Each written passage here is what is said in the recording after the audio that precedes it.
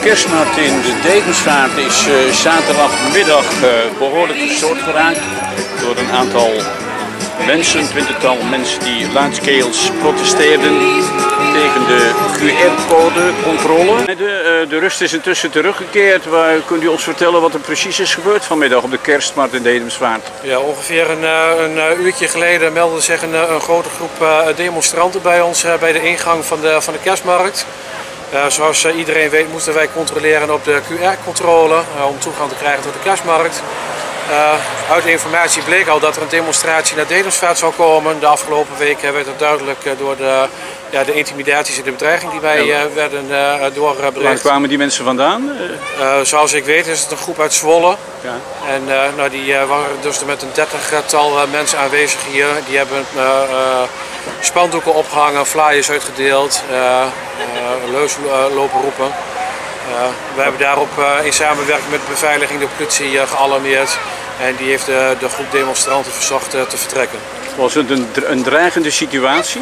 Nou, dreigend, dreigend, wil ik het niet noemen. Het is wel gewoon heel erg intimiderend.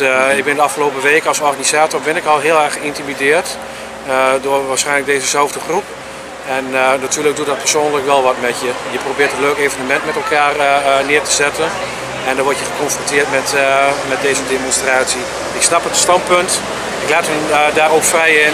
Maar laat mij ook vrij in de keuze die ik maak als organisator om dit evenement met QR-code door te laten gaan. Ja, en toen is de politie erbij gekomen, begreep ik?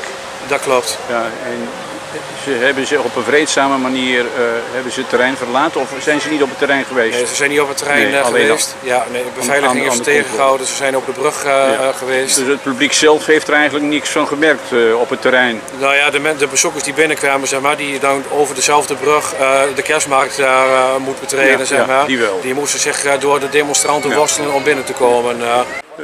Ik praat even met uh, een paar mensen van de protestgroep. Jullie waren vanmiddag onuitgenodigd uh, aanwezig op de kerstmarkt in Dedemsvaart.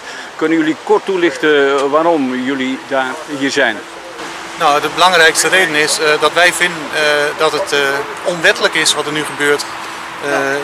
artikel 1 van de grondwet is dat je niet mag discrimineren. En er wordt gediscrimineerd. Mensen zonder QR-code mogen niet naar binnen. En uh, als uh, die QR-code nou daadwerkelijk zou helpen tegen het virus uh, bestrijden, dan kan ik het nog begrijpen. Maar mensen die een prik gehad hebben, die zijn nog steeds besmettelijk. Mm-hmm. En als mensen een prik gehad hebben en um, uh, en ze zijn positief getest, dan blijft hun vink op groen staan. Oké. Okay. Het staan dat wij on, uh, zonder uitnodiging uh, hier zijn gekomen. volgens mij was de kerstmarkt niet op uitnodiging, dus het klopt inderdaad dat iedereen hier welkom was vandaag. En wij waren hier vandaag als mensen. En wij willen gewoon net als iedereen op een gelijke manier behandeld worden, zonder QR. Oké, okay, de politie is erbij gekomen, heb ik begrepen, klopt dat? Dat klopt. En wat is aan jullie gevraagd? Uh, niet zo heel veel bijzonders. Uh, nee. We hebben gewoon een goed gesprek gehad ook met uh, de agenten.